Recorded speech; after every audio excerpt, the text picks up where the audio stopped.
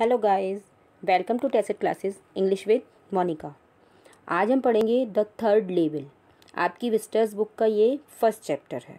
The third level written by Jack Finney Jack Finney की अगर हम बात करें तो जैकफिनी एक ऐसे ऑथर हैं जिनके ज़्यादातर वर्क या तो साइंटिफिक हैं या फिर थ्रिलर हैं. तो हमारी ये जो स्टोरी है द थर्ड लेवल ये भी एक थ्रिलर है, एक सस्पेंस थ्रिलर है. इसको पढ़ने में आपको बहुत मज़ा आने वाला है। ये बहुत इंटरेस्टिंग स्टोरी है। और इसको समझने के लिए आपको बहुत ध्यान से मेरा वीडियो सुनना पड़ेगा, देखना पड़ेगा। बहुत पेशेंस से आप सुनिए और समझिए कि इसमें हो क्या रहा है। ये बहुत ही इंटरेस्टिंग स्टोरी है। तो आइए शुरू करते हैं। Before you read have you ever had any curious experience which others find hard to believe क्या आपने कोई ऐसा क्यूरियस एक्सपीरियंस किया है जिस पर दूसरों को विश्वास करने में बहुत मुश्किल हुई हो। कभी ऐसा हुआ है आपके साथ? क्योंकि जब जिस चीज़ का हमने एक्सपीरियंस किया है, कोई ऐसी चीज़ जो अनबिलीवेबल है, और जब हम आके किसी दूसरों को बताएँगे तो वो क्या कहेगा? नहीं नहीं, ऐसा नहीं हो सकता। तो ऐसा ही कुछ इस स्टोरी में हुआ है द थर्ड लेवल में। इसमें एक थर्टी वन ईयर का चार्ली नाम का युवक है वो हमको ये स्टोरी नरेट कर रहा है। वो अपना एक्सपीरियंस बताता है द थर्ड लेवल का। और ये थर्ड लेवल किस चीज़ का है?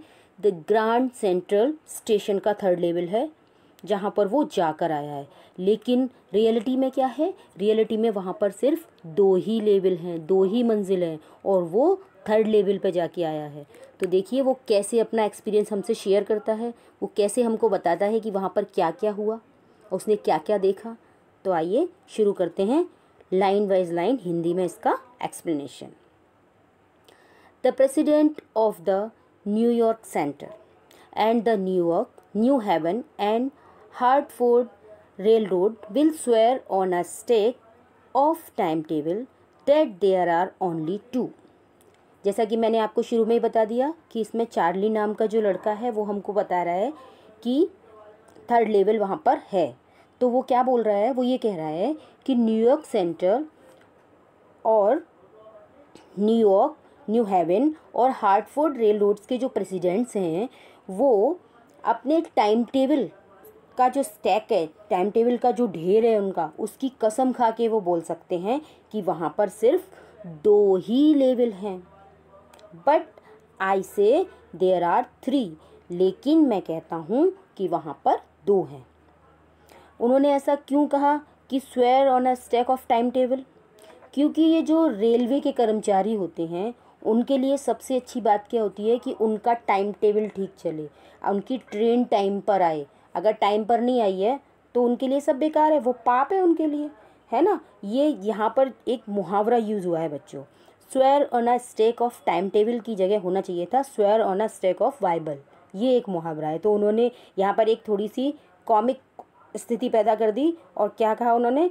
Swear on a stack of time tables कि वो लोग अपने टाइम टेबल की कसम खा के कह सकते हैं कि वहाँ पर दो ही स्टेशन है। लेकिन मैं क्या कहता हूँ कि वहाँ पर तीन हैं। Because I have been on the third level of the grand central station क्योंकि मैं ग्रैंड सेंट्रल स्टेशन के थर्ड लेवल पर, तीसरी मंजिल पर जा चुका हूँ। मैं होके आया हूँ वहाँ पे। इसलिए मैं इतने विश्वास से कह रहा हूँ। Yes I have taken the obvious step मैंने बहुत सही कदम उठाया। अब देखो उन्होंने सही कदम क्या उठाया है?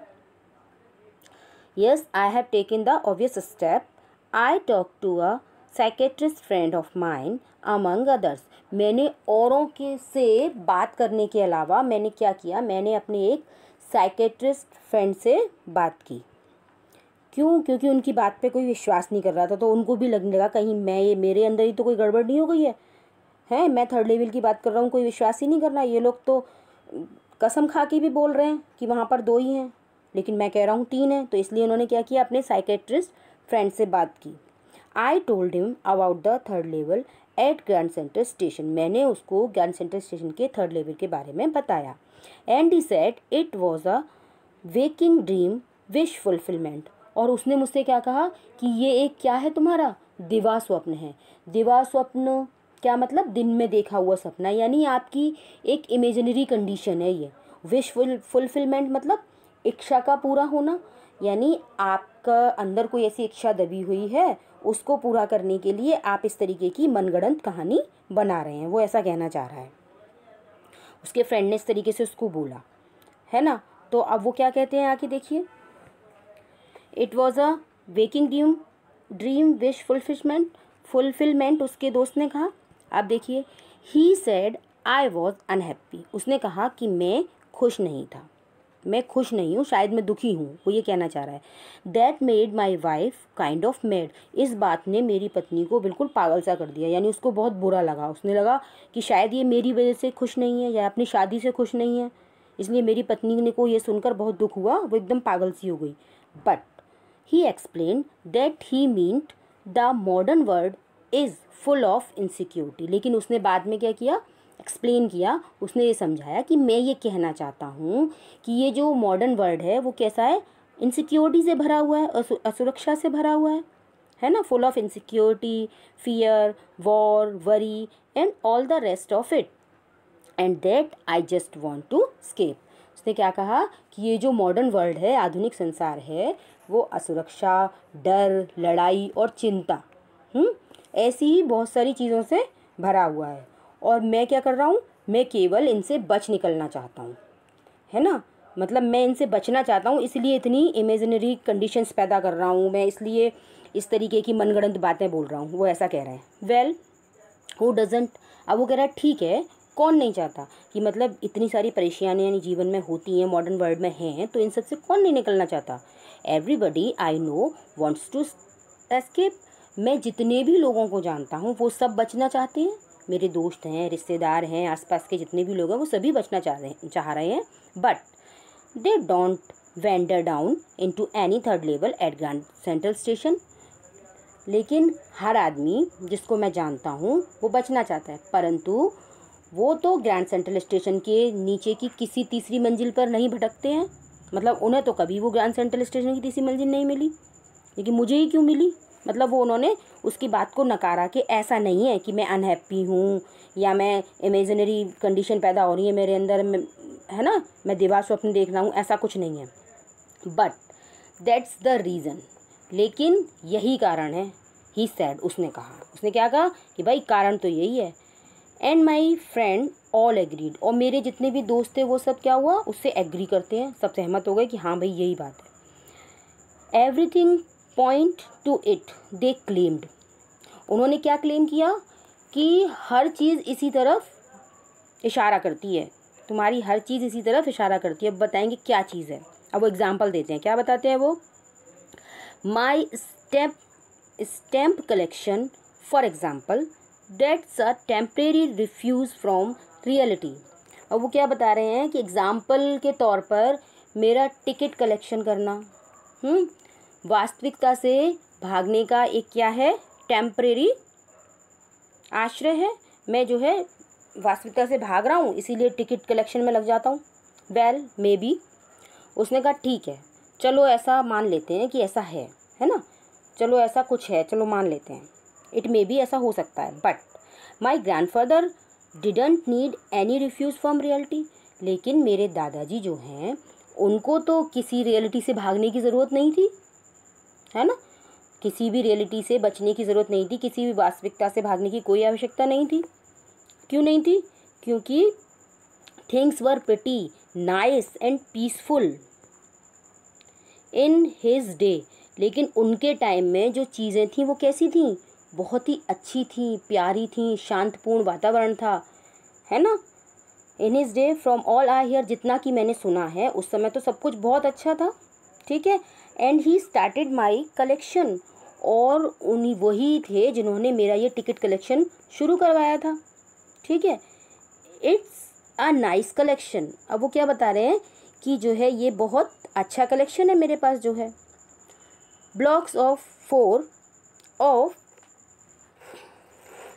practically every US issue first day cover अब फ़र्स्ट डे कवर क्या होता है? वो हम आगे पढ़ेंगे, आपको समझाएँगे क्या होता है फ़र्स्ट डे कवर अभी आप यहाँ पर इतना ही समझिए कि blocks of four of practically every US issue first day cover and so on क्या कह रहे हैं वो? कि जो है, मेरे पास बहुत अच्छा कलेक्शन है और यूएस के जो भी टिकट्स वहाँ से इशू होती हैं। उनका फोर का एक ब्लॉक्स, यानी चार टिकटों का एक समूह, पहले दिन ही मुख्य पृष्ठ और ऐसे ही सब कुछ जो हम जानते हैं, है ना? ऐसा ही सब कुछ, यानी फ़र्स्ट डे फ़र्स्ट कवर जो है, हम लोग अपने पास होते थे। हमारे पास क्या होता था? ब्लॉक ऑफ़ फोर यानी चार टिकटों का समूह फ़र्स्ट डे कवर यानी फ़र्स्ट डे जो इश्यू होते थे वो हमारे पास होता था। फ़र्स्ट डे कवर क्या होता है ये हम आगे समझेंगे ठीक है? President Roosevelt collected stamp too you know आप जानते हैं कि जो राष्ट्रपति थे रूजवेल्ट वो भी टिकट का जो है कलेक्शन करते थे वो भी टिकट जो है संग्रह करके रखते थे। ये उनकी हॉबी थी। तो टिकट कलेक्ट करना कोई ऐसी बुरी बात नहीं है कोई ऐसी चीज़ नहीं है। वो प्रेसिडेंट भी ऐसा करते थे उन्होंने बताया। एनी anyway, फिर भी here's what happen at Grand Central station अब वो बता रहे हैं कि उनके साथ ग्रैंड सेंट्रल स्टेशन पर हुआ क्या था। ठीक है? हम्म क्या बता रहे हैं कि जो Grand Central Grand Central station पर हुआ था, उसके बारे में वो बता रहे हैं। क्या बता रहे हैं? One night last summer I work late at the office एक बार गर्मियों में एक दिन रात को क्या हुआ? मैंने ऑफ़िस में देर तक काम किया। ठीक है? Work late at the office I was in a hurry to get up down to my apartment so I decided to take the subway from Grand Central because it's faster than the bus तो मैंने ये निश्चय किया कि मैं अपने घर जाने के लिए, अपने फ्लैट पर जाने के लिए, मैं बस ना लेके क्या लूँगा? सबवे लूँगा। और मैं कहाँ चला गया? ग्रैंड सेंट्रल स्टेशन पर चला गया, जिससे मैं अपने घर जल्दी पहुँच सकूँ, क्योंकि बस देरी से पहुँचाएगी। और जो है जब मैं सबवे से जाऊँगा तो सबवे तेज जल्दी पहुँच जाएगी। सबवे क्या होता है? जैसे हमारे यहाँ मेट्रो होती है ना, उस तरीके से सबवे होता है। ठीक है? तो इसलिए उन्होंने ये निश्चय कर लिया कि अब हम बस से नहीं जाएँगे और हम सबवे से जाएँगे। इसलिए वो कहाँ चले गए? ग्रैंड सेंटर स्टेशन पर चले गए। ठीक है? Now I don't know why this why this should have happened अब वो कह रहे हैं कि मैं नहीं जानता कि ये जो है सब कुछ क्यों हुआ? क्या हुआ? ये मुझे कुछ नहीं पता, वो कह रहे हैं। टू मी मेरे साथ ही क्यों हुआ, है ना? Now I don't know why this should have happen to me ये सब कुछ मेरे साथ ही क्यों हुआ?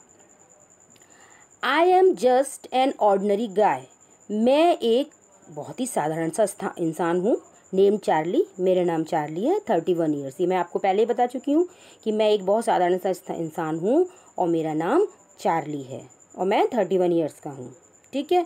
And I was wearing a tan gabardine suit and a straw hat with a fancy band अब वो बता रहे हैं कि मैंने क्या पहन रखा है, मेरा पहनावा कैसा है? कि मैं जो है, मैंने एक भूरे रंग का गार्बेडिन या गैबर्डिन का सूट पहना हुआ है, ठीक है? एक लंबा सा कोट होता है, उसको बोलते हैं। ठीक है? गाबर्डिन बोलो, गैबर्डिन बोलो, ये प्रोनाउंसिएशन के ऊपर है नाउन है। ठीक है? तो वो मैंने पहन रखा है और मैंने क्या किया है? एक मैंने हैट पहन रखी है। कैसी? जूट की बनी हुई हैट है, वो मैंने पहन रखी है और उस पर एक फैंसी बैंड लगा हुआ है। I pass the dozen man who look just like me मेरे ऐसे बहुत से लोगों से डजन यानी बहुत सारे दर्जनों लोग ऐसे थे जो मेरे पास से गुजरे और मेरे जैसे नज़र आते थे, यानी वो भी मेरे जैसे ही कपड़े पहन रखे थे, मेरे जैसे ही नज़र आ रहे थे। And I wasn't trying to escape from anything और मैं किसी चीज़ से बचना नहीं चाहता था। अब वो बता रहे हैं कि मैं जो है किसी चीज़ से बचना नहीं चाहता था। जैसे तुम कह रहे हो ना कि तुम एस्केप कर रहे थे चीज़ों से, इसलिए तुम ऐसी कहानी बना रहे हो तो वो बता रहे हैं कि मेरे साथ हुआ क्या था। मैं किसी चीज़ से बचना नहीं चाहता था। मैं क्या चाहता था? I just wanted to get home to Louisa my wife और मैं सिर्फ़ अपनी पत्नी लुइसा के पास घर पहुँचना चाहता था। मतलब उस दिन मेरी सिर्फ़ इतनी सी बात थी कि मैं लुइसा के पास पहुँचना चाहता था। I turn into Grand Central from Vanderbilt Avenue and went down the step to the first level where you take train like the twenty century Vanderbilt Avenue से मैं ग्रैंड सेंट्रल के लिए मुड़ा, ठीक है? और सीढ़ियों से होता हुआ पहली मंजिल, यानी फ़र्स्ट लेवल पर पहुँच गया, जहाँ पर ट्वेंटी सेंचुरी जैसी ट्रेन मिलती थी। यानी जहाँ से ट्वेंटी सेंचुरी की ट्रेन पकड़ी जाती थी मैं वहाँ पर पहुँच गया। ठीक है? Then I walk down another flight to the second level फिर मैं क्या किया? नीचे की तरफ़ गया, दूसरे ढलान से होते हुए। है ना? वहाँ पर क्या था? दूसरी मंजिल पर पहुँच गया मैं where the suburban trains leave from और जहाँ से सब अर्बन ट्रेन्स जो हैं मिलती थी। यानी उसको कहाँ जाना था? टाउन के बाहर जाना था। तो सब अर्बन ट्रेन्स वहाँ पर मिलती थी, वहाँ पर वो पहुँच गया। Ducked into an arched doorway heading for the subway and got lost और वो कैसे होता हुआ पहुँचा? वहाँ पर उन्होंने क्या किया? एक ऐसा डोर था। कैसा डोर जो ऊपर से गोल था। सेमी सर्कल टाइप का इसका दरवाज़ा होता है। वहाँ पर सिर झुकाकर उन्होंने एंटर किया। है ना? जो कहाँ जा रहा था?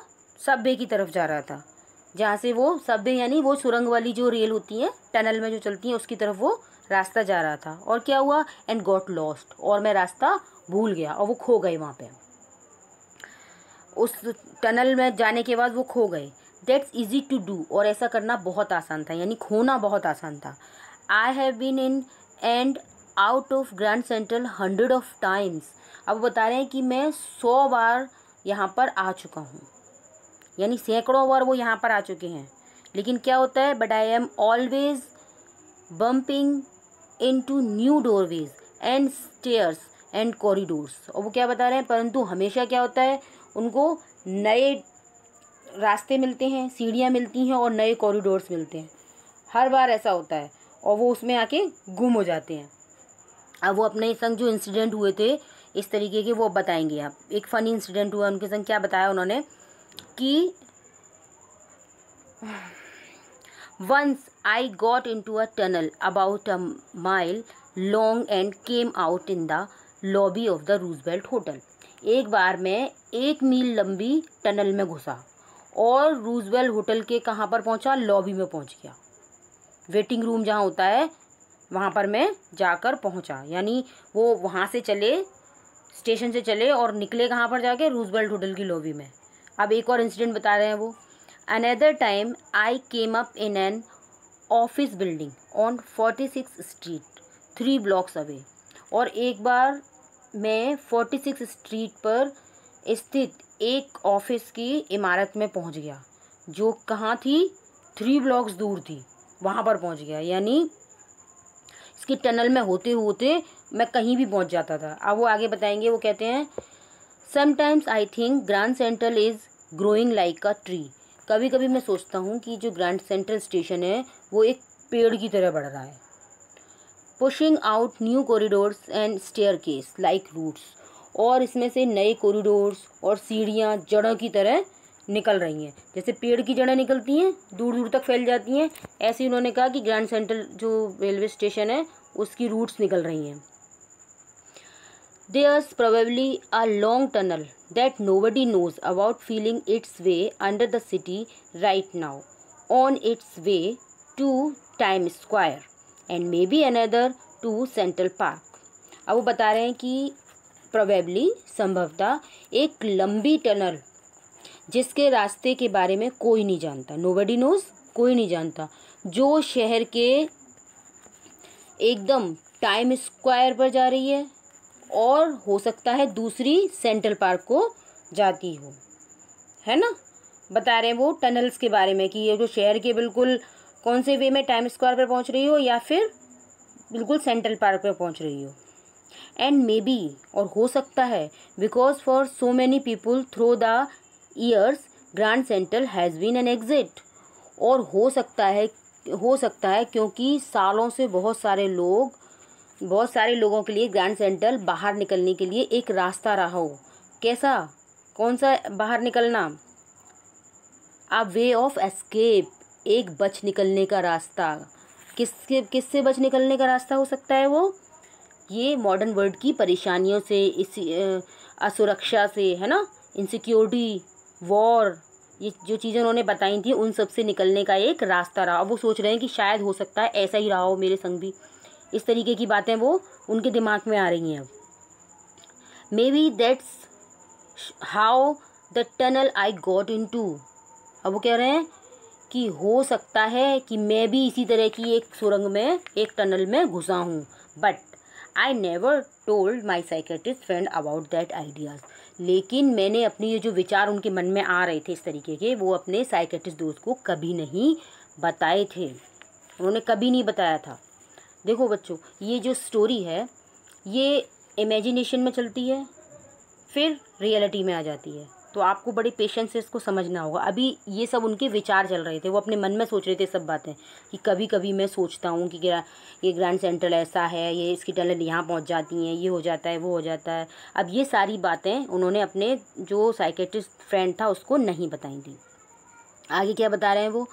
The corridor I was in began angling left अब फिर से वो बता रहे हैं कि उस दिन उनके संग क्या क्या हुआ था, वो बता रहे हैं वो the corridor I was in began angling left and slanting downward and I thought that was wrong अब वो कह रहे हैं कि जिस कॉरिडोर से मैं जा रहा था, वो क्या हुआ? बाई ओर मुड़ने लगा। और नीचे को बिल्कुल स्लाइड स्लाइड मतलब नीचे से बिल्कुल ढलान, जैसे तिरछा होने लगता है ना, बिल्कुल नीचे जाने लगा।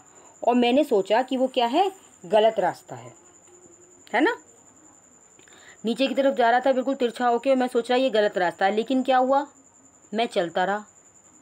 ऐसा सोचने के बाद भी but I kept on walking all I could hear was the empty sound of my own footsteps and and I didn't pass a soul अब वो कह रहे हैं कि रास्ते में जो कुछ मैं सुन सकता था, वो क्या था? वो थी मेरे पैरों की आवाज़, मेरे फुट स्टेप्स की आवाज़ थी और मुझे एक भी आदमी नहीं मिला। कोई और आदमी ऐसा नहीं मिला जो मेरे पास से गुजरा हो। यानी वहाँ पर वो सिर्फ़ अकेले ही चलते जा रहे थे। ठीक है? Then I hear that sort of a hollow roar I heard that means open space and people talking और फिर मैंने आगे की तरफ़ एक जो है आवाज़ सुनाई दी। उन्हें कुछ आवाज़ें सुनाई दी। कैसी आवाज़? जैसे खाली स्थान पर जो आवाज़ बातें करता है, कोई किसी हॉल में तो आवाज़ें गूंजती हैं ना? तो ऐसी आवाज़ें उनको सुनाई दी। क्या कि कोई खाली स्थान है और लोग क्या कर रहे हैं? बात कर रहे हैं। इस तरीके का उन्हें एक्सपीरियंस हुआ। ठीक है? The tunnel turn sharp left और सुरंग जो थी, जो टनल थी, वो क्या हुआ? एकदम बाई तरफ़ मुड़ गई। I went down a short flight of stairs and came out on the third level at Grand Central station मैंने क्या किया? जो है, छोटी सी जो सीढ़ियाँ थी, उसके बाद क्या हुआ? मैं नीचे गया, है ना? एकदम स्लाइड से होता हुआ नीचे गया और ग्रैंड सेंट्रल स्टेशन की तीसरी मंजिल पर आ पहुँचा। अब वो आ गए हैं थर्ड लेवल पर, ठीक है? तीसरी मंजिल पर पहुँच गए वो। फॉर जस्ट अ मोमेंट कुछ क्षण के लिए मैंने सोचा। क्या सोचा उन्होंने? एकदम I thought I was back on the second level कि मैं जो है सेकेंड लेवल पर पहुँच गया हूँ। मतलब उन्हें लगा कि मैं फिर से सेकेंड लेवल पर आ गया हूँ। But I saw the room was smaller लेकिन मैंने क्या देखा कि वहाँ के जो रूम हैं, वो कैसे थे? छोटे थे। जैसे ऊपर उन्होंने देखे थे और लेवल्स पे वैसे नहीं थे, छोटे थे। There were fewer ticket windows और टिकट की जो विंडोज़ थी, वो भी कम थी। है ना? ज़्यादा नहीं थी। एंड द ट्रेन गेट्स और ट्रेन के गेट्स भी कम थे। जो वहाँ ट्रेन उन्होंने देखी, वो उसके गेट भी कम थे। और क्या देखा उन्होंने? वहाँ पे वो एक्सपीरियंस कर रहे हैं कि ऊपर क्या था, जो सेकेंड लेवल फ़र्स्ट लेवल पे देखा और थर्ड लेवल पे क्या था। ठीक है? And the information booth in the centre was wood and old looking और जो इन्फॉर्मेशन बूथ था, वो कैसा था? लकड़ी का बना हुआ था और कैसा लग रहा था? देखने में बहुत पुराना लग रहा था, पुराने टाइप का था। And the man in the booth wore a green eye shade and long back sleeve protectors और जो आदमी वहाँ बैठा हुआ था, जो बूथ में आदमी था, उसने क्या किया था? उसने अपनी आँखों पर ग्रीन आई शेड पहना हुआ था। आई शेड ग्रीन क्या होता है? जैसे कैप होती है ना तो कैप में जो है ग्रीन कलर का एक आगे की तरफ़ शेडो लगा, शेड लगा हुआ था, जिससे उनकी आँखों को परेशानी से बचाया जा सके। वो वहाँ पे जो लैंप थी, आगे बताएँगे, लैंप कैसी थी, वहाँ पे जो है, गैस की लैंपें जल रही थी। तो उनसे, उनकी आँखों को हार्म ना हो, इसलिए उन्होंने ग्रीन आई शेड पहन रखे थे। ठीक है? और क्या पहन रखा था? और उन्होंने green eye shade and long black sleeve protectors, और ब्लैक स्लीव प्रोटेक्टर भी पहन रखे थे। The lights were dim. And sort of the flickering और लाइट कैसी थी? लाइट बहुत कम थी, धुंधली थी और ए, वो जो है फ्लिकरिंग कर रही थी, यानी एक तरीके से बिल्कुल टिमटिमा रही थी। ठीक है? Then I saw why they were open flames gas lights अब उन्होंने फिर मैंने देखा कि वे खुली ओपन फ्लेम वाली, खुली जिसमें ज्योति जलती रहती है, वैसी लाइटें थी वो। इसलिए उन्होंने वो आई शेड और वो स्लीव प्रोटेक्टर्स पहन रखे थे। ठीक है? आइए आगे देखते हैं क्या हुआ। अब ये सब थर्ड लेवल के बारे में बता रहे हैं वो कि थर्ड लेवल पर उन्होंने क्या क्या देखा there were brass spittoons on the floor अब उन्होंने क्या देखा कि जो है फ्लोर पर पीतल के जो है डस्टबिन टाइप और स्पिटून्स का मतलब पीकदान, है ना, जिसमें थूकते हैं लोग ठीक है? उन्होंने वहाँ पर देखे ऑन द फ्लोर स्टेशन के फ्लोर पर उन्होंने क्या देखा कि पीतल के जो है डस्टबिन या पीकदान वहाँ पर रखे हुए हैं। And across the station a glint of light caught my eye a man was pulling a gold watch from his vest pocket अब उन्होंने क्या देखा स्टेशन के पार मैंने एक रोशनी की झलक देखी, है ना? एक रोशनी देखी। एक आदमी ने क्या किया, अपनी जैकेट के पॉकेट से। ठीक है? उसने क्या किया? अपने जैकेट के पॉकेट से क्या निकाला उसने? एक घड़ी निकाली। कैसी घड़ी थी वो? गोल्डन थी। A man was pulling a gold watch from his vest pocket अपनी जो उनकी कमर से, कमर में जो जैकेट पहने होते हैं ना, उस जैकेट में से उन्होंने एक अपनी घड़ी, गोल्ड की घड़ी निकाली। He snapped open the cover glanced at his watch and frowned उसने क्या किया? उस घड़ी पे अपनी नज़र डाली, यानी उसने टाइम देखा होगा। उसने वो घड़ी में कैसी होती है? वो जो घड़ी जेब से निकालते हैं, उस, उसमें है ना, ऊपर से एक ढक्कन लगा होता है। उसको ऐसे हटा के तब टाइम देखते हैं। तो उसने ढक्कन को खोल दिया घड़ी के और उस पर एक नज़र डाली। और नज़र डालने के बाद क्या किया उसने? वॉच फ्रंट फ्रॉन्ट मतलब होता है भौएँ चढ़ गई। उसने मतलब ऐसे भौएँ चढ़ा ली उसको देख के। He wore a derby hat a black four button suit with tinny lapels. And he had a big black hand lever mustache. अब वो क्या बता रहे हैं कि वो जो आदमी था, वो कैसा था? वो उसने एक डरवी जो है हेड पहन रखी थी और एक काला चार बटन वाला सूट जिस पर छोटी छोटी गरेबन की लटें थीं और उसकी बड़ी काली कैसी थी? बड़ी बड़ी काली मूछें थी। और कैसी मूछें थी? बिल्कुल तिरछी, जैसे साइकिल के हैंडल जैसी मूछें थी उसकी। ठीक है? Then I looked around and saw that everyone in the station was dress like eighteen ninety something फिर मैंने अपने चारों तरफ़ देखा और पाया कि स्टेशन पर हर आदमी एट्टीन नाइन्टी की तरह कपड़े पहने हुआ है। यानी अट्ठारह में जिस तरह के कपड़े पहने जाते थे, उस तरीके का कपड़े पहना हुआ है। ठीक है? अब आगे वो क्या बता रहे हैं? मतलब उन्होंने रियलाइज़ हो गया कि मैं कहाँ पहुँच, किस तरह का, किस जगह पहुँच गया। एट्टीन नाइनटी में पहुँच गया हूँ। I never saw so many beards sideburns and fancy moustaches in my life अब वो क्या बता रहे हैं कि मैंने इतनी सारी दाढ़ी और ऐसे जो है फैंसी मूछें अपनी लाइफ में कभी नहीं देखी थी। इस तरीके की, जिस तरीके की मूछें वहाँ लोगों की तरह तरह की वो देख रहे थे, है ना? उस उतनी जो है उन्होंने कभी नहीं देखी। साइड बंस मतलब वो मूछें कैसी, एकदम गल मूछें उस तरीके की। गले तक फैली हुई, तिरछी तिरछी सी रुआबदार इस तरीके की मूछें उन्होंने कभी नहीं देखी थी। ठीक है? आगे वो क्या बता रहे हैं? A woman walked in through the train gate she wore a dress with leg of mutton sleeves and skirts to the top of her high button shoes अब उन्होंने क्या देखा कि गाड़ी के दरवाजे में से एक औरत गई। वह कैसे बूट होते ना जैसे ऊपर तक बटन लगे हुए, उस तरीके के वो जूते पहनी हुई थी। और ऊपर भेड़ की जैसे टांग होती है ना, उस तरीके की आस्तीन थी उसके कपड़ों की। और क्या पहनी हुई थी? स्कर्ट पहनी हुई थी वो। ठीक है? अब उन्होंने क्या देखा? बैक ऑफ़ हर, उसके पीछे, out on the tracks. Track पर उन्होंने कुछ दिखाई दिया। अब वो अपने, उसकी झलक देख ली उन्होंने। जो ट्रैक है, ट्रेन का ट्रैक है, उनमें उन्होंने क्या देखा? I caught glimpse of a locomotive. A very small Currier and Ives locomotive with a funnel shaped stack अब उन्होंने क्या देखा?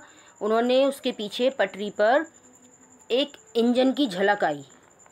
है? एक बहुत से बहुत छोटे से कुरियर एंड आइव्स का लोकोमोटिव इंजन एक कीप की तरह की चिमनी के साथ उनको वहाँ पे दिखाई दिया।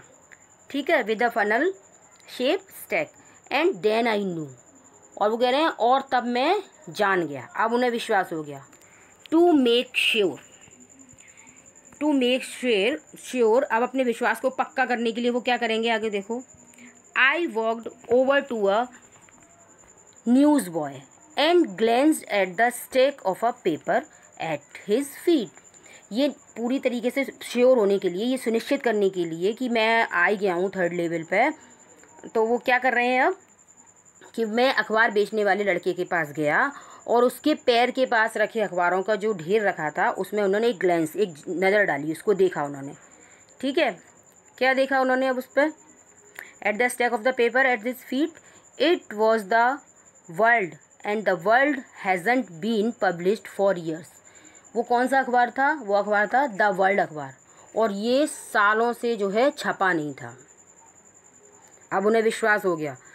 The World hasn't been publish for years the lead story said something about President Cleveland अब वो जो स्टोरी थी उसमें, जो मुख्य पृष्ठ पर छप, छपी हुई थी घटना हेडलाइंस जो थी तो वो क्या थी? राष्ट्रपति क्लीवलैंड क्लीवलैंड के बारे में कुछ लिखा था उसमें। ठीक है? अब उन्होंने ये चीज़ देख ली कि अब तो भाई मैं थर्ड लेवल पर ही आ गया हूँ। ये सब चीज़ें अभी तो है ही नहीं। है ना? I have found that front page since the public library files and it was printed June eleven eighteen ninety four मैंने ये पहला पृष्ठ पब्लिक लाइब्रेरी की फ़ाइलों में ढूंढ लिया है।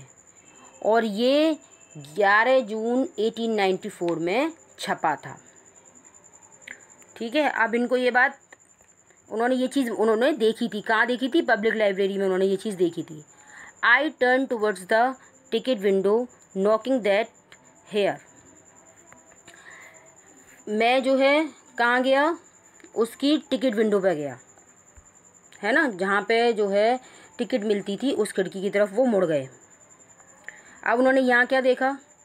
Window knocking date here the third level at Grand Central I could buy ticket that would take Louisa and me anywhere in the United State we wanted to go अब वो कह रहे हैं कि ये मैं जानता था कि मैं यहाँ वह टिकट खरीद सकता हूँ जो लुइसा और मुझे यूनाइटेड स्टेट्स में जहाँ हम जाना चाहें, वहाँ कहीं भी हमें ये ले जा सकती है। ठीक है? हम कहीं भी जा सकते हैं। इन द ईयर 1894 और ईयर कौन सा होगा? ना एटीन नाइन्टी फोर में। यानी मैं एटीन नाइन्टी फोर में अब ट्रैवल कर सकता हूँ। इस तरीके का उन्हें विश्वास हो गया कि मैं और लुइसा अब हम कहीं भी जा सकते हैं, क्योंकि अब तो उन्हें थर्ड लेवल मिल गया अब एटीन नाइन्टी फोर की ट्रेन पकड़ेंगे यहाँ से और कहीं भी चले जाएँगे। I wanted two tickets of Galesburg Illinois have अब वो बता रहे हैं कि मुझे क्या चाहिए था?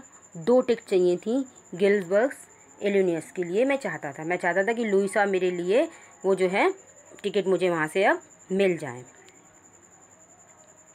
अब आगे क्या होता है? आगे कह रहे हैं have you ever been there क्या आप कभी वहाँ गए हैं? It's a wonderful town still with big old farmer houses वहाँ अब भी एक बहुत वंडरफुल टाउन है, जिसमें बड़े बड़े जो है फार्मर्स के घर हैं और बड़े बड़े लॉन हैं। है ना? वो जहाँ की वो जिस टाउन की बात कर रहे हैं बड़े बड़े लॉन हैं and a tremendous trees whose branches meet overhead the roof of the street और क्या बता रहे हैं वो? कि वहाँ के जो पेड़ हैं, बहुत विशाल काय पेड़ हैं, जिसकी टहनियाँ ऊपर जाकर मिल जाती हैं और क्या होता है, गलियों पर एक छत का काम करती है, जहाँ पर बहुत सारे पेड़ होते हैं जंगलों में, वो दोनों तरफ़ से सड़क के अगर लगे हों, वहाँ से आप कभी गुजरे हों तो देखा हो कि वो बिल्कुल कैसा बना लेते हैं, एक छत जैसी बना लेते हैं, बिल्कुल वहाँ पर धूप भी नहीं आती है, इस तरीके का बन जाता है तो ऐसी स्थिति वहाँ थी, वो बता रहे हैं, ठीक है? And in 1894 summer evening were twice as long और 1894 की जो गर्मियाँ थी, गर्मियों की जो शाम थी, वो क्या क्या होती थी? दुगनी लंबी हुआ करती थी। एज नॉर्मल से और दुगनी लंबी होती थी। And people set out on their lawns लोग अपने बाहर लॉन में बैठते थे।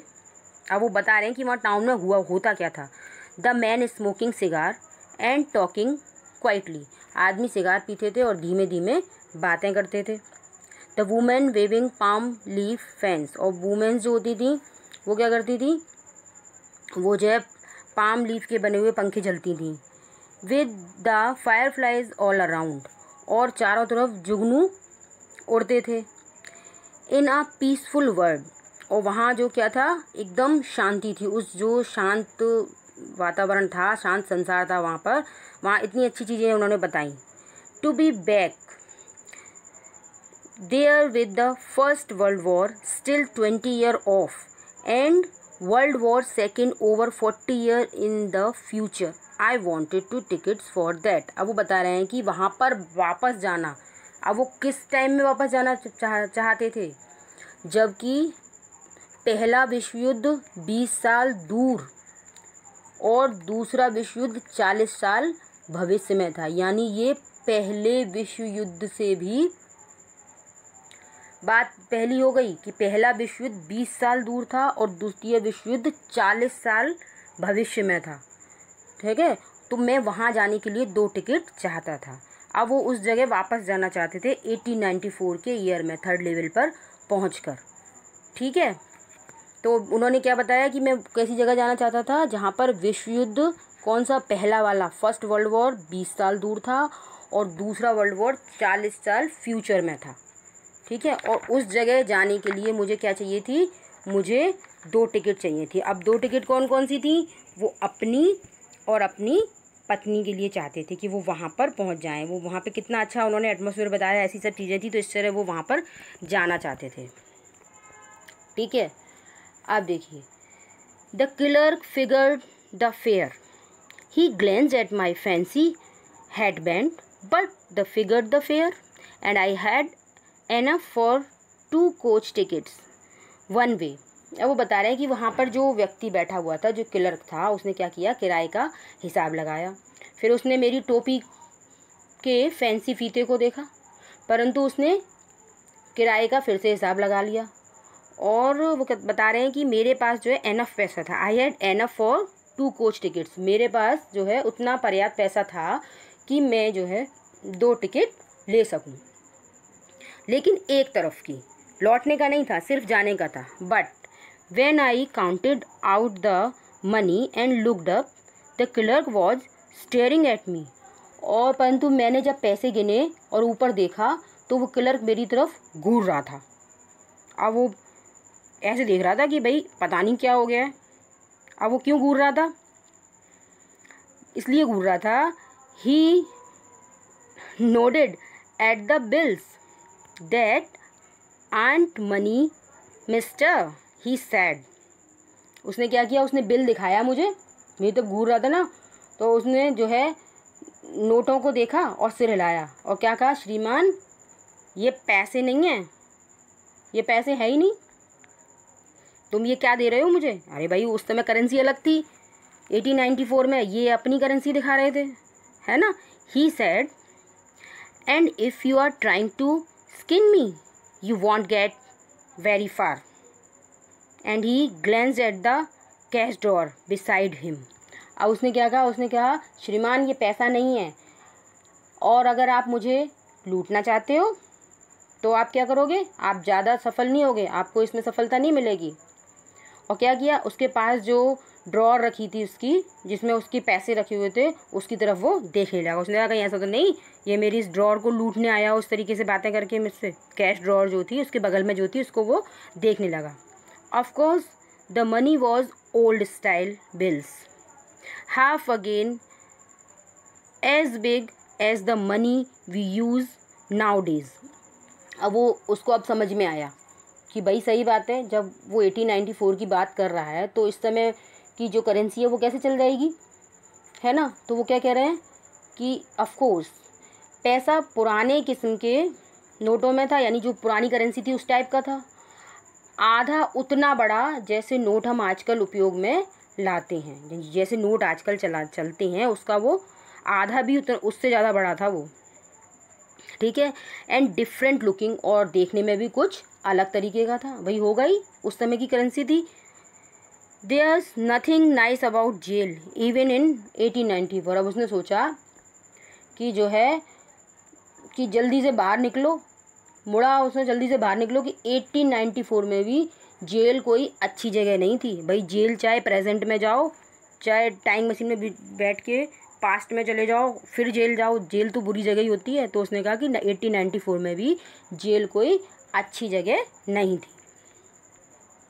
अब आगे बताते हैं वो that was that I left the same way I came और बात यही थी भाई, और बात ये थी और मैं तो भैया जिस रास्ते से गया था, उसी रास्ते से अब वापस आ गया, भाग आया वहाँ से। ठीक है?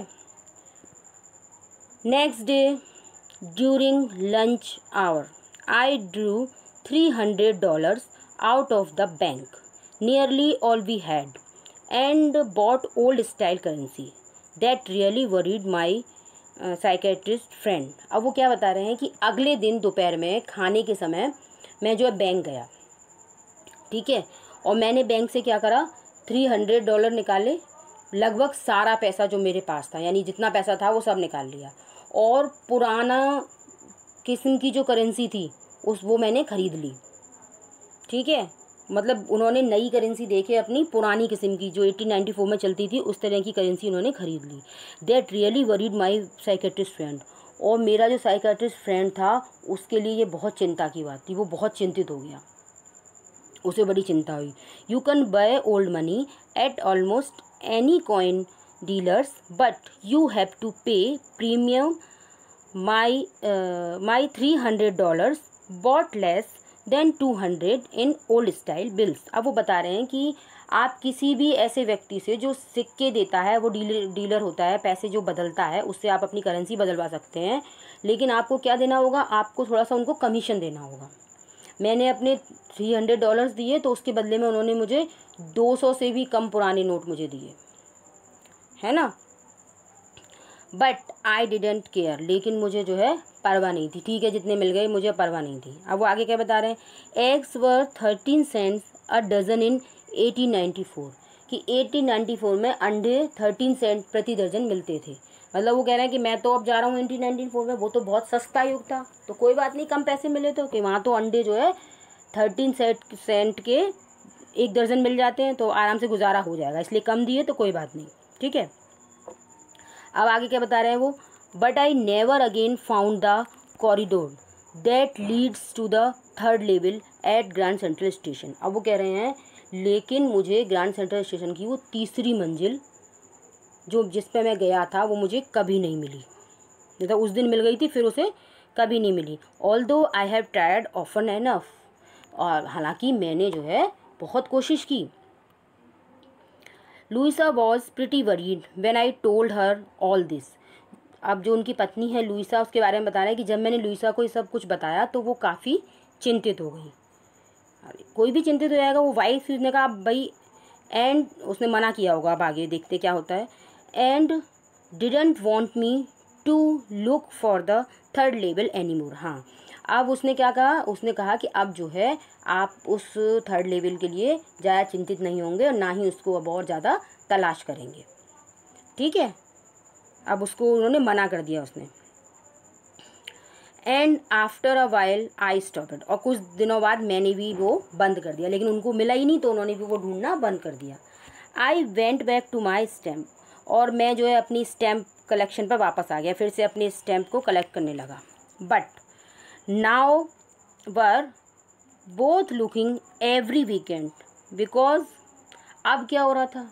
उन्होंने उस समय तो वहाँ पर बंद कर दिया और अपनी जो टिकट कलेक्शन था उसके पास वो वापस आ गए, दोबारा अपनी टिकट को कलेक्ट करने लगे। परंतु अब हम दोनों तलाश कर रहे हैं। कौन? वो और उनकी पत्नी दोनों। अब देखिए, आगे बताएँगे वो ऐसा क्यों कर रहे हैं। है ना, बहुत इंटरेस्टिंग स्टोरी है, इसमें सस्पेंस है, देखिए बार बार में।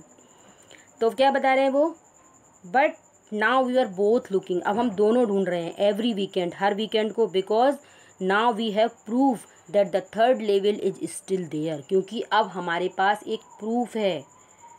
ये प्रमाण है हमारे पास कि थर्ड लेवल वहाँ पर है और अभी भी है।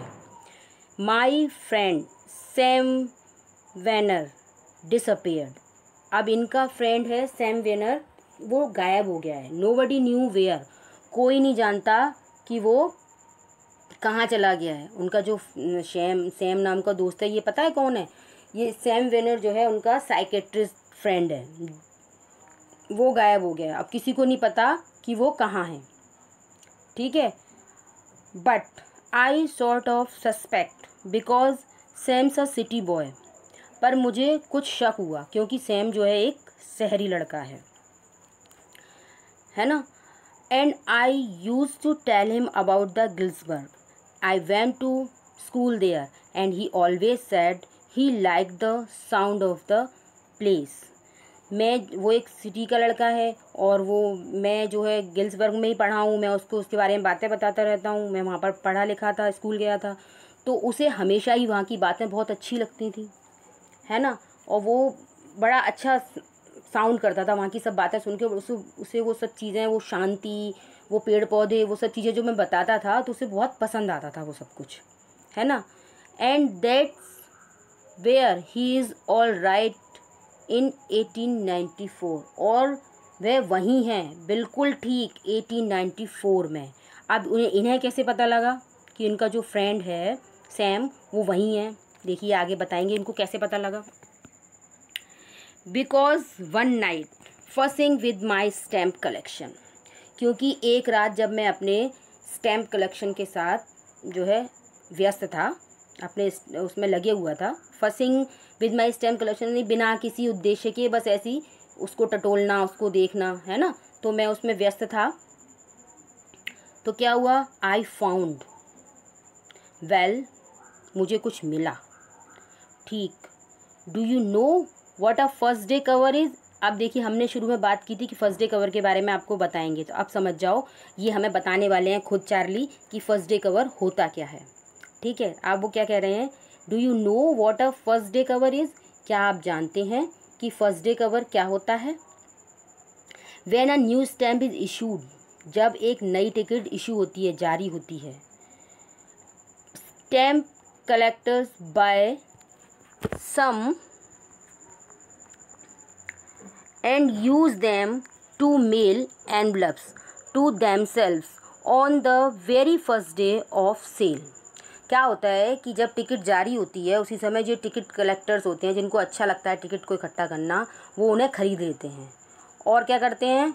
और उसकी बिक्री के पहले दिन ही क्या करते हैं? एक एनवलप में उसको लगाते हैं।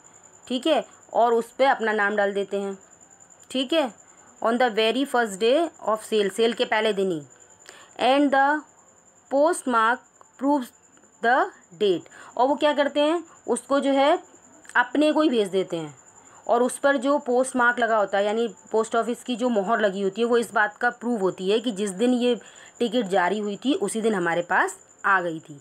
तो ये होता है फ़र्स्ट डे कवर ये होता है फ़र्स्ट डे कवर क्या होता है कि एक लिफाफा लेते हैं, उस पर जो पहले दिन इश्यू होती हैं टिकट्स वो उस पर लगाते हैं, अपना ही एड्रेस लिखते हैं और अपना एड्रेस लिखते हैं, उस लिफाफे के अंदर एक खाली पेपर डाल देते हैं और उसको अपने ही पते पे भेज देते हैं। तो ये प्रूव हो जाता है पोस्ट ऑफ़िस की मोहर लग जाती है कि ये उस दिन इश्यू हुई थी तो हमारे पास फ़र्स्ट डे का ये है तो इसलिए उसको बोलते हैं first day cover they are never opened और ये जो फ़र्स्ट डे कवर होते हैं, वो कभी भी खोले नहीं जाते हैं. You just put blank paper in the envelope क्योंकि उसके अंदर जो है खाली कागज़ डाला जाता है उस एनवलप पे. तो केवल उसको कलेक्शन में ही रखा जाता है.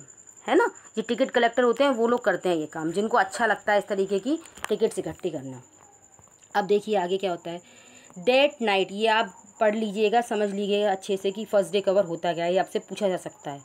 Date night among my oldest first day covers I found one that shouldn't have been there अब वो कह रहे हैं कि उस रात को मेरे सबसे पुराने सबसे पुराने जो उनके एनवलप थे, उनमें मुझे एक लिफाफा मिला।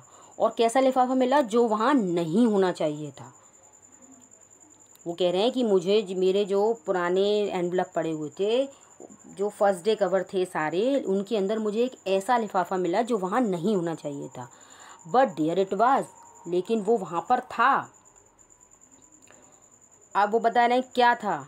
इट वॉज़ देयर वो वहाँ इसलिए था because someone had mailed it to my grandfather at his home in Galesburg क्योंकि वो वहाँ इसलिए था कि वो किसी ने मेल किया था मेरे दादाजी को, कहाँ पर, जहाँ उनका घर घर था उस टाउन में गर्ल्स वर्क को। आप देखिए, वो क्या बता रहे थे कि एटीन नाइन्टी फोर में उनका जो दोस्त है, वो चला गया है। मे बी टाइम मशीन है, कुछ है। अब ये जो कहानी है बच्चों, ये इमेजनरी है। कुछ इसमें मनगढ़ंत कहानी है, पूरी ये कोई सत्य तो है नहीं। तो वो कह रहे हैं कि जो लेटर लिखा था वो किसी ने मेरे दादाजी को लिखा था। तो एटीन नाइन्टी फोर में अब ये तो वहाँ होंगे नहीं। इनके दादाजी ही होंगे वहाँ पर। तो इसलिए और इनके दादाजी ने क्या किया था? इनके दादाजी ने स्टैम्प कलेक्टिंग का इनको हॉबी डलवाई थी, है ना? तो इनके दादाजी के एड्रेस पे वो लेटर पहुँचा था। इसलिए वो इनके पास इस समय था। That's what the that's what the address on the envelope said envelope का जो एड्रेस था, उससे ये पता लग रहा था कि किसी ने वो मेरे दादाजी के पते पर भेजा है। And it had been there since July eighteen eighteen ninety four the postmark showed that और वो वहाँ पर, और ये eighteen July eighteen ninety four से वहाँ पर था। डाकघर की मोहर से क्या हो गया था? ये साबित हो गया था।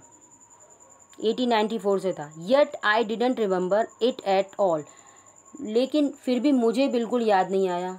उनको ये बिल्कुल याद नहीं आया कि शायद मैंने कभी ये कलेक्ट किया हो। ठीक है? The stamp was a six cent और उस पर सिक्स सेंट की स्टैम्प लगी हुई थी डल ब्राउन कलर की। है ना? डल ब्राउन कलर की स्टैम्प लगी हुई थी वहाँ पर सिक्स सेंट की। With a picture of President Garfield naturally when the envelope came the grand grandad in the mail it went right into his collection and stayed there till I took it out and open it अब बता रहे हैं कि वो जो Saint थी, वो कैसी थी? भूरे रंग की थी, जिस पर राष्ट्रपति गारफील्ड की जो है पिक्चर थी। अब वो कह रहे हैं नेचुरली जब मेरे दादाजी के पास ये जो है लेटर पोस्ट के द्वारा आया होगा तो सीधे ही उनके किसमें चला गया होगा? जो उन्होंने कलेक्शन किया हुआ था, उसमें चला गया होगा। और ये वहीं रह गया। और मैंने जब इसको निकाला और खोला, उन्होंने निकाला ही नहीं।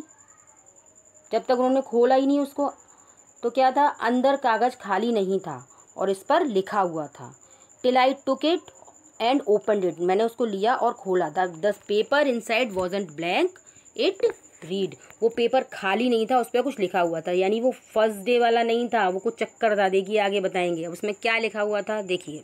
यहाँ पर एड्रेस लिखा हुआ है उन्होंने अपना, आगे लिखा है Charlie I got to wishing that you were right मैं चाहता रहा था कि तुम ठीक थे। Then I got to believing you were right फिर मैं विश्वास करने लगा था कि तुम ठीक थे। And Charlie it's true I found the third level और चार्ली ये सच है, मुझे तीसरी मंजिल मिल गई है। I have been here two weeks मैं यहाँ पर दो हफ़्ते दो हफ़्ते से हूँ। And right now down the street at the Dalys someone is playing a piano and they are all out on the front porches singing sing नले होम। अब वो बता रहे हैं कि जो है मैं दो सप्ते से हूँ और एकदम अभी डेलीज़ के पास गली में कोई पियानो बजा रहा है और वे सब क्या कर रहे हैं? सामने जो बाहर जो बैठे हुए हैं और गाना गा रहे हैं। सींग नेले होम। ठीक है, इस तरीके गाना गा रहे हैं। And I am invited over for lemonade और मुझे क्या किया है? मुझे नींबू के शरबत के लिए इनवाइट किया गया है, बुलाया गया है। आगे क्या बता रहे हैं वो?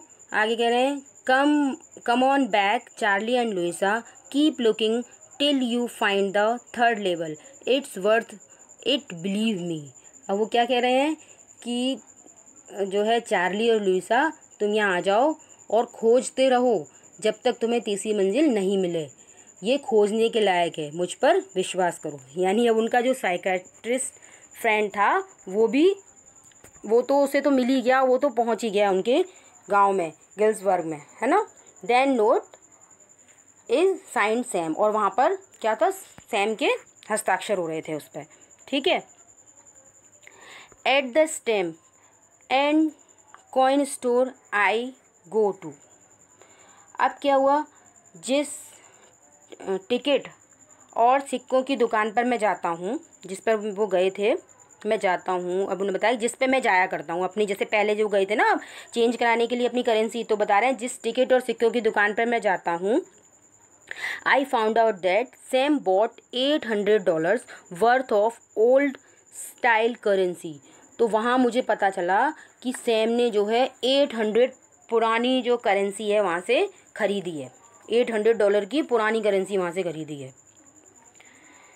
अब उसे बड़ा आश्चर्य हुआ कि मतलब सैम ने विश्वास कर लिया, उसकी बात का, और उसको थर्ड लेवल मिल ही गया।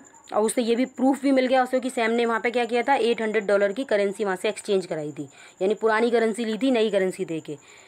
डेट और to set him up in a nice little hay अब वो कह रहे हैं कि वह एक अच्छा हे मतलब होता है चारा, भूसा। तो एक अच्छा चारे का बिज़नेस कर लेगा मतलब फ़ीड एंड ग्रेन बिज़नेस, चारे का, घास का और अनाज का जो है बिज़नेस कर लेगा वहाँ पे। He always said that what he really wished he could do and he certainly can't go back to his old business अब वो कह रहे हैं कि वो हमेशा से कहता था कि वो वास्तव में ये करना चाहता था। क्या करना चाहता था? गाँव में रहना चाहता था, इस तरीके का बिज़नेस करना चाहता था। है ना? तो वो वहाँ पर पहुँच गया है और एट हंड्रेड डॉलर्स की करेंसी लेके गया है तो इतने सब में वो वहाँ पे अच्छा खासा बिज़नेस अपना कर ही लेगा। ठीक है? अब वो आगे कह रहे हैं कि he suddenly can't go back to his old business अब वो निश्चित ही उसका जो पुराना बिज़नेस है, क्या है? वो तो साइकेट्रिस्ट था तो पुराने ज़माने में तो साइकेट साइकेट्रिस्ट होते नहीं थे तो अब वो पुराना बिज़नेस तो वहाँ कर नहीं सकता। नॉट इन गिल्सबर्ग और गिल्सबर्ग में तो बिल्कुल भी नहीं। इन 1894 हिज ओल्ड बिज़नेस और 1894 में उसका वो बिज़नेस तो चलेगा नहीं, जो पुराना था, यहाँ पे जो था साइकेट्रिस्ट था वो। Why Sam was my psychiatrist क्यों सैम मेरा साइकेट्रिस्ट था? तो यहाँ पर ये स्टोरी ख़त्म हो जाती है। थी ना सस्पेंस से भरी हुई। तो चलिए, अब आप अच्छे से पढ़िए, समझिए इसको। Thanks for watching